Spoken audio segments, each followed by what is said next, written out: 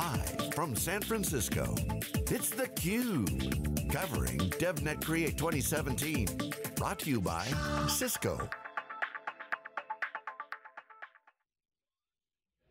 Okay, welcome back everyone. Live in San Francisco, this is theCUBE's exclusive coverage of Cisco Systems inaugural DevNet Create event, an augmentation extension and build upon their successful three-year-old DevNet developer program. Our next guest is Amanda Whaley, who's the Director of Development Experience at Cisco DevNet. Um, well, congratulations, Amanda, on one, DevNet being successful over three years. Thank and you. And now your foray into DevNet Create, which is some call it the hoodie crowd, the cloud native developers, yes. open source, um, completely different animal, but important yes. from DevNet.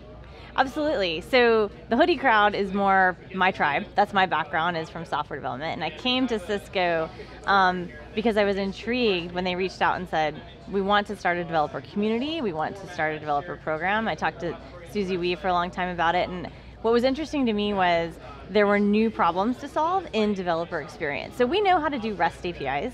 There's a lot of best practices around how you make those easy for developers to use, how you make them very consumable and developer friendly, and there's a lot of work to do there, but, but we do know how to do that.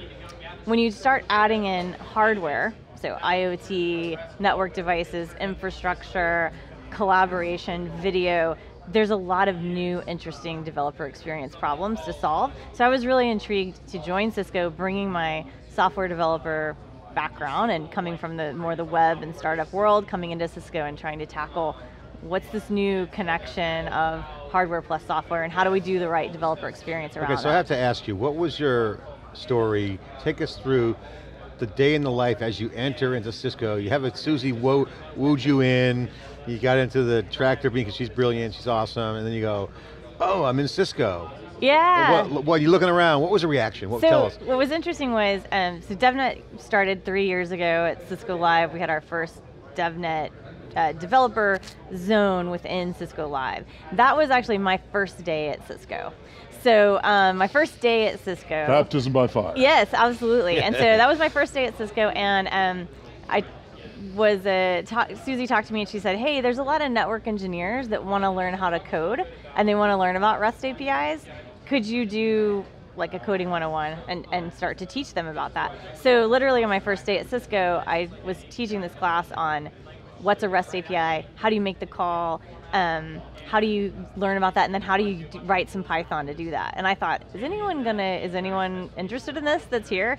And I had this room packed with network engineers, which I at that time, I mean I knew some networking, but definitely you know, nothing compared to the CCIEs that were in the Yeah. audience. And Hardcore um, plumber networking Yeah, guys. very, very, yeah. Yeah. And um, and so uh, I taught the course, and it was it just like caught on like wildfire. They were so excited about because they saw this is actually pretty accessible and easy to do. And one thing that stood out was we made our first REST call from Python, and instead of getting your Twitter followers or something like that, it retrieved a list of network devices. You got IP addresses back, and so it related to their world. Mm-hmm. And so I think it was very fortunate that I had that on my first day, because I had an instant connection to what that community They're like, needed. who is she? She's awesome. Yeah. Hey, come on. Well, it was just, it helped the me code. understand what they You're were like, we're gonna go for a walk around the block now. Come on, kindergartners, come on out. No, but And- these network guys, they're smart, so they can learn. Really smart. I mean, it's not like they're wet behind the ears in terms of smarts. It's just Definitely new not. language for them. And that's It's what just- that was the point of the class was like, you guys are super smart, you know all of this, you just need some help getting started on this tooling. And um, so many of them, I keep up with them through on Twitter and other places, and they have taken it so far beyond, Mm-hmm. um, and they just needed that start, and then they were they were off to the races. So that's been really interesting. And then the other piece of it has been working in our our more app developer technologies, because as developer experience for DevNet, I get to work across collaboration, IoT, networking, data center, like the whole spectrum of Cisco technologies. So on the other side, in application, we have Cisco Spark, they have great JavaScript SDKs, and um, it's very developer friendly, and so that is kind of going back to my developer tribe and bringing them in and saying, do you want to sell to the enterprise? Do you want to work with the enterprise? Cisco's got a lot to offer, and there's a lot of interesting things to mm-hmm. do there. Yeah, a lot of them have Cisco networks and, Yeah. and gear all around the place, and so it's important. Now talk about machine learning and AI, the hottest trend on the planet right now in the in your tribe and in the developer tribe. A lot of machine learning going on. Machine learning's been around in the data center networking Yeah. guys have, it's not new to them either. So Right. that's an interesting convergence point. IoT is a network device. Right, right. so you got IoT, you got AI and machine learning booming.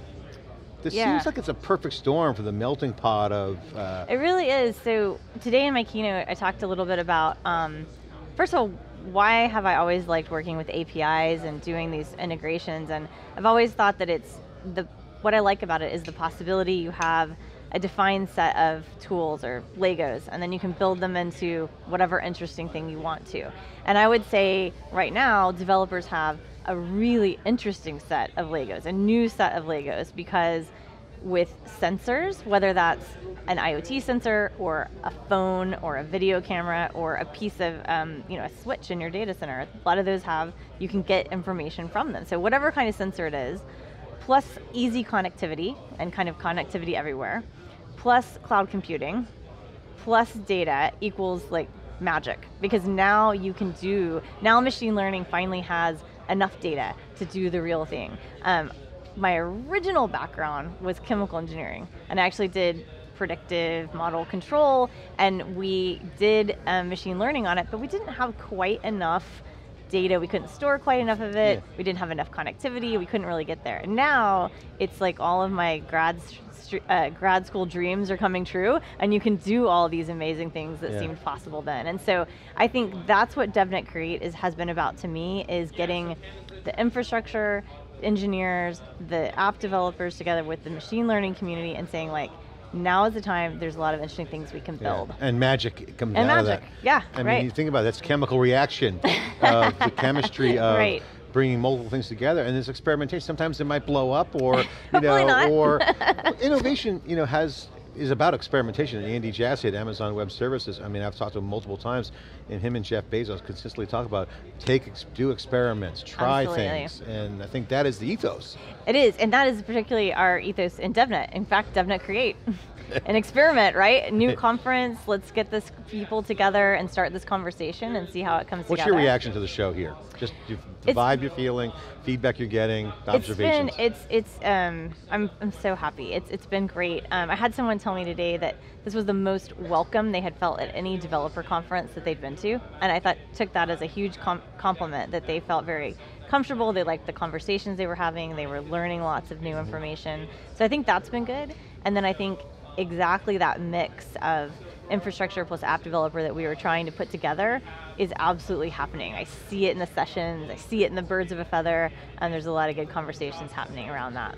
Question for you that we get all the time, and it comes up on crowd chat. I'd like to ask you the questions, just um, get your reaction to is, what misperception of DevOps is out there that you would like to correct? If there Oh. could be one, then you It's a good say, you know, it's not that.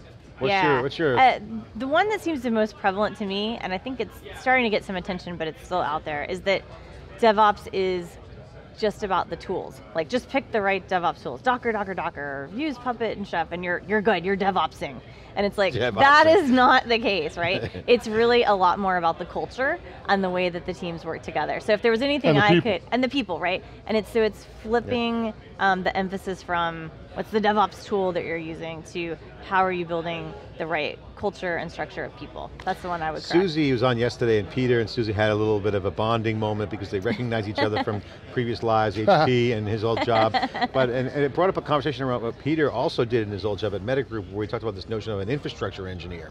And what's interesting now is, developer. I mean, infrastructure developer. Yeah, I'm yeah. sorry, um, that was normally like a network engineer. So the network engineers now on the engineering side meeting developers, almost like there seems I can't put my finger on it. It's just like my I can feel in my knee weather patterns coming over. That a new developer is emerging.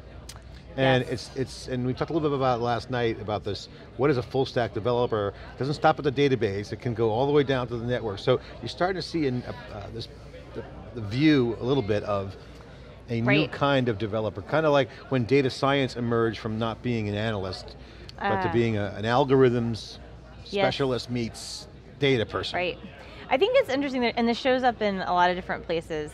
When I think about DevOps, I think about this spectrum of the teams working, and there's the infrastructure teams who are working on the the most you know deepest layer of the infrastructure, and then you kind of build up through there into the DevOps teams, into the app dev teams, into maybe even something sort of above the app dev team, which would be like a low code solution where you're just using um, like something like built.io or something like that. Something that we would normally think of as developers, right? So that spectrum is broadening on both ends and people are moving down the stack and moving up the stack. The, the network engineers, uh, one of the things in DevNet we're working on is what we call the evolution of a network engineer and where is that going? And network engineers have had to learn new technology before and now there's just a new set which includes automation and APIs and configuration management, infrastructure as code, and so they're moving up the stack. And then developers are also starting to think, I really want my application to run well on the network because if no one can use it, then my yeah. application's not doing anything. Yeah. And so things like the optimize for business that we have with Apple, where a developer can go in through an SDK and say, I want to set these QoS settings so that my app gets treatment like that's a, a, way that they're converging. And I think that's really interesting. So one of the things that we've been working on at Wikibon, I want to test this assumption by, we talked a little bit about it, is the idea of a data zone. Oh, yeah. Where just as we use a security zone as a concept, where everything that's in that zone, and it's both the technologies, there's governmental, there's other types of, has this, these security characteristics, and if it's going to be part of that agglomeration, it must have these security characteristics. Mm. And we're now thinking you could do the same thing with data where you start saying, so, so for example, we talked earlier about the idea that the network is what connects places together. And that developers think in terms of, you know, the places where things are, like the Internet of right. Things. I'm wondering if it's time for us to think in terms of the network in time, or the network oh, is time. Oh, and not think in terms of where something is, but think in terms of when it is and whether or not that's going to become a very powerful way of helping developers think about the role that the network's going to play. Is the data available now? now because right. I have an event that I have to support now. And it seems as though that could be one of those things that snaps this group these two communities together to think it's in time that you're trying to make things happen, and the network has to be able to present things in time, and you have to be cognizant of in time. That's one of the reasons, for example, why RESTful is not the only way to do things. Right, exactly. IoT thinks in time. What do you think about yeah, that? Yeah, I think that's really interesting, and actually that's something we're diving in with our um, community on is so you've been a developer, you've worked with REST services, and now you're doing IoT. Well, you need to learn a lot of new protocols and how to do more things more in real time. And um, that's a skill set that some developers uh, maybe don't have. They're interested in learning, and so we're looking at how do we help people yeah. along that way. Well, data in motion is uh, a big topic. Exactly. Yeah, absolutely. And so I think, and then the network, like thinking about from a network provider, like I need this data here at this time, is very interesting concept, and that starts to speak to what can be done at the edge, which is obviously like an interesting concept for us. But also the um, role the network's going to play in terms in of predictably anticipating where stuff is and when it needs to be there. Yeah, yeah, I think that's I think that's. But it's really programmable. If you think about what Cisco's always been good at, and, and most network and ops guys is they've been good at policy-based stuff and they're really, they know what events are, and they have network events, right? Things right. happen all the time. Network management software principles have always been grounded in software. Right. So now how do you take that to yeah. bridging, again, that's why I see a, a great. convergence. We should have a conference around that. it's called yeah, DevNet Create. DevNet Create. okay, so final question for you. As you guys have done this, um, how's your team doing with the talks? Was one going on behind us as a birds of a feather yes. IoT session. You got a hackathon over here. Um, pretty cool by design that we heard yesterday that it's not 90% Cisco, it's 90% community, 10% Cisco. So it's not, this is not a Cisco coming in and saying, hey, we're in cloud native, get, you know, get used to us, we're here, you know? So, no, I mean. Absolutely not, so it's, um, I'm, really, I'm really proud of how my team came together around that. So I have our team of developer evangelists who we um, you know, connect with the, the developer community and we really look at our job as this full circle of we get materials out and learning and get people excited about using Cisco APIs and we also bring information back about like here's how it is, here's what customers think about using it, here's what the community is doing, all of that. So when we started DevNet Create, we set the stake in the ground of we want this to be way more community mm-hmm. content than than our mm-hmm. content we produce ourselves. And so the evangelists did a great job of reaching out into communities, um, connecting with speakers, finding the content that we wanted to highlight to this audience and bringing it in. So the, the talks have been fabulous. The yeah. workshops have been um, a huge hit. It's like standing room only in there and people getting a seat and not wanting to leave because they want to keep their seat and so they'll stay Yeah. for four workshops in a row. You know, it's, it's been amazing. I think it's great. It's exciting for me to watch because I know that developer goodness is happening. People are donating software. You see Google donating a lot of open source, even Amazon on the machine learning. You guys have a lot of people open source. But I got to ask you now, within Cisco and its ecosystem of its company, we see a lot of Cisco people on our CUBE events that we go to. We go to you know 100 Yes. events last year, we'll be over 150 this year. We saw Deli and Zero, we saw some Cisco folks there. Sapphire, there's a deal with CenturyLink and at, Han- uh, at HANA Cloud, Enterprise Cloud. So there's Cisco everywhere. There's relationships that Cisco has. How are you looking at taking DevNet Create, or are you going to stay a little bit decoupled, be more startup-like, and kind of figure that scene out, or is that on the radar yet? So I think, um, you know, with starting DevNet Create for this first year, what we really wanted to do is get foundation out there, stake in the ground, get a community started and get this conversation started. And we're really looking to, in the iterative, experimental way, look at what comes out of this year and where the community really wants to take it. So I think we'll be figuring that To out. see what grows out of it. Yes, we Thousand flowers bloom kind of thing. Yeah, and I think that it will um, it will be we will always have the intention of keeping that we want to keep the mix of audience of infrastructure and app and we'll see how, how that grows. So Well, Amanda, congratulations to you, Rick, and Susie and the teams. Um, I'd like to get some of those experts on the CUBE interviews as soon as possible. Absolutely. And some crowd chats, was you guys did an amazing IoT crowd chat. I'll share that, That into was really the fun. hashtag. So uh, very collaborative, you guys are a lot of experts, and Cisco's got a lot of experts out in, in uh, hiding behind the curtain there. You're bringing them out, bringing them out, out in public here. that's right. Congratulations. Thank you very much. We're here live for the special inaugural coverage of DevNet Create, Cisco's new event, cloud native, open source, all about the community. Like theCUBE, we care about that, and we'll bring you more live coverage after this short break.